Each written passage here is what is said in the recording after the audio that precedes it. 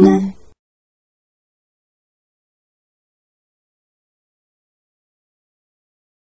13番ミッドフィルダー日田聡です、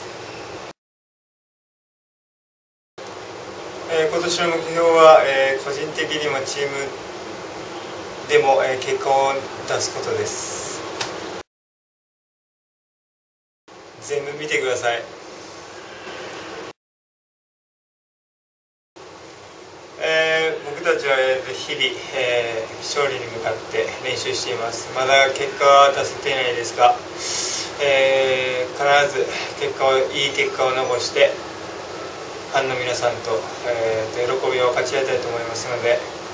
これからも応援末永くよろしくお願いします。